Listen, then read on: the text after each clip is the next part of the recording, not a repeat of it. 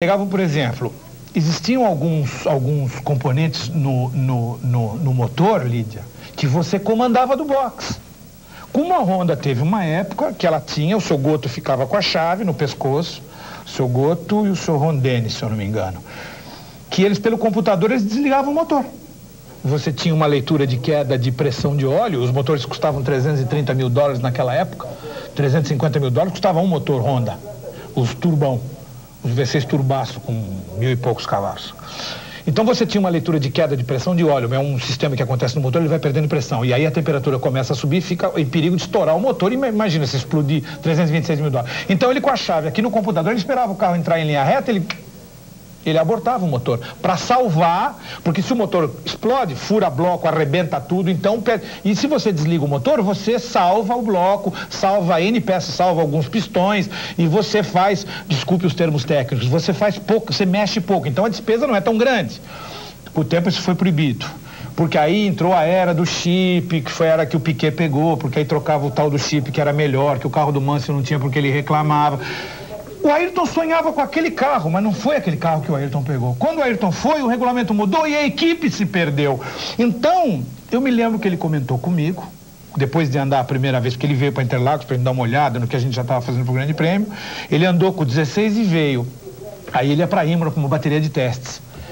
E ele comentou que realmente o carro tinha muito motor, mas ia dar muito trabalho para acertar porque até o tempo, o cara tá meio cadeirão, tava, precisava acertar, precisava, precisava, porque a equipe estava perdida. Infelizmente, ele ia ter que começar na Williams da estaca zero. Claro que era uma equipe competente, com técnicos competentes e com muito dinheiro. Eu não tenho nem dúvida que na metade do campeonato estava tudo resolvido.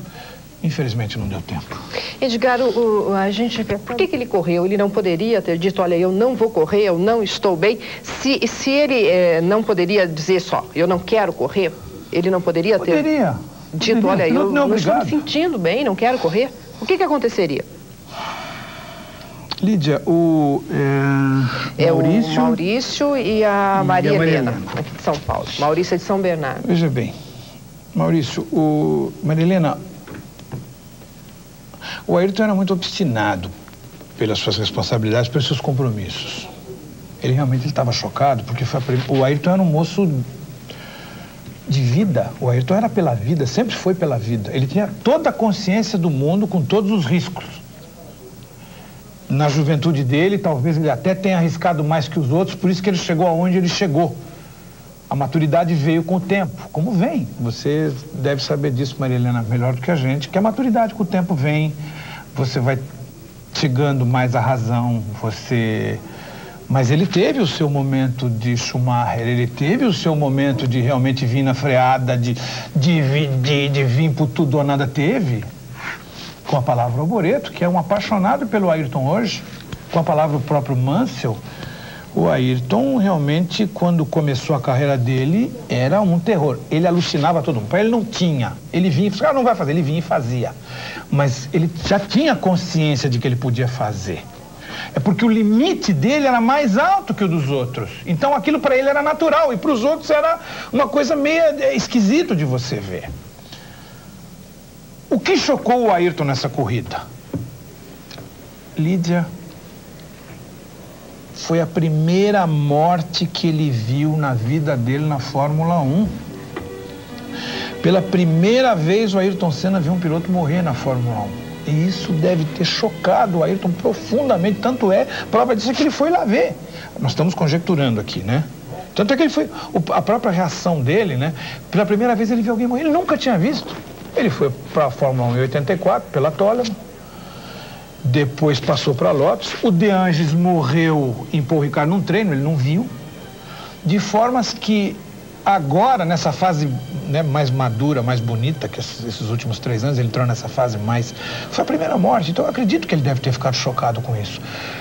Mas aquela, aquele comportamento, Lídia, é o que eu falei agora há pouco para o Rondino. Eu ainda acredito, pelo que eu vi na época em que eu viajava, que eu faz, fiz durante 17 anos. Ele saiu, fez o boletim, o Nelson de noite já queria fugir, já queria fazer um monte de coisa, porque queria correr de qualquer jeito. Aí nós fomos ver o tape à noite e nós temos visto aí algumas imagens desse acidente. O problema do Nelson foi um pneu. Então o Williams partiu a uns 290 por hora, né? Já veio rodando O do Nelson vem rodando. O Ayrton foi reto, olha lá. Ele sai retinho, explode e termina tudo.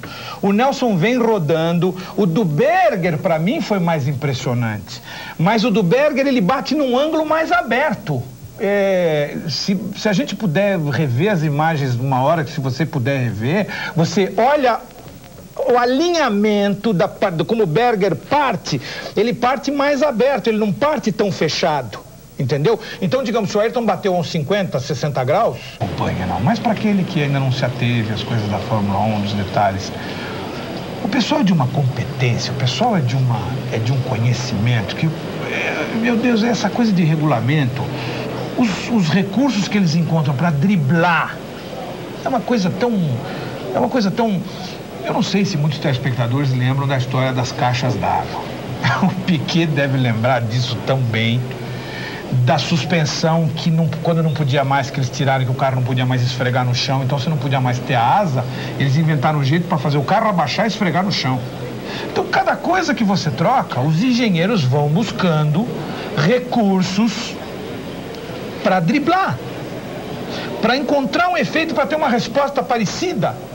Então, hoje, se você não tem mais o efeito solo, você tem uma reação parecida, porque eles criam uma pressãozinha naqueles últimos 40 centímetros do carro, que vai criar uma, uma pressão para baixo, que vai dar um efeito solo. Então, a época da caixa d'água é uma coisa engraçada. Para você que não acompanhou, a FIA uma vez eh, fez uma série de proibições também, não pode mais isso, não pode mais aquilo, tinha que ter um peso, porque o que era turbo, porque não era aspirado. E toda aquela água das duas caixas de 20 litros que tinha uma de cada lado, portanto... É o 856-4140. Deixa eu aproveitar e é, te perguntar uma coisa, Edgar. Essa vai ser feita uma perícia agora no carro do, uhum. do Senna, né? Ela é confiável? Nós vamos ter alguém nosso do Brasil participando dessa perícia? Alguém que possa nos garantir, não, realmente esse resultado é Olha, o correto? Lídia, eu. Eu passei a acreditar muito na justiça italiana, muito em função da operação Mãos Limpas. Muito. E eu acredito na seriedade do trabalho deles. E eu tenho quase que certeza, nós não podemos nos meter, porque de repente poderia ser entendido como uma, ingerência nossa, né?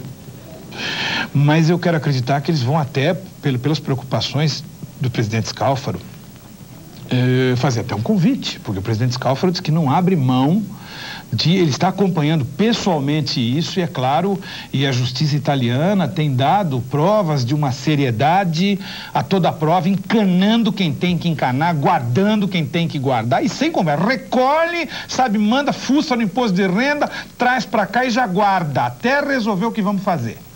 Então eu acredito nessa seriedade e nós já colhemos os primeiros resultados disso, do que já começa a acontecer no nosso país, onde já começamos a, a buscar também a, que é para que nós possamos acreditar e confiar cada vez mais, nós, mas é através de gestos, né, das coisas. Então é por isso que a gente, é, e que eu particularmente, acreditando na justiça italiana, tenho certeza que eles com, vão fazer uma profunda investigação e vão trazer à tona o resultado. Porque eu tenho muito medo que eles acabem, não a justiça italiana em si, porque se cair na mão dela, eu tenho certeza que ela vai divulgar. Mas quanto ao resultado da quebra da suspensão, é que eu ainda tenho as minhas dúvidas, mas com certeza eles devem fazer um convite para que algum técnico, algum especialista nosso vá lá para até acompanhar, se é que já não foi, de repente até já pode ter ido, e que esses resultados com certeza vão chegar ao e nosso quem país. seria esse especialista? Ah, nós temos muita gente competente, temos o doutor Badão Palhares, lá de Campinas, que é um homem que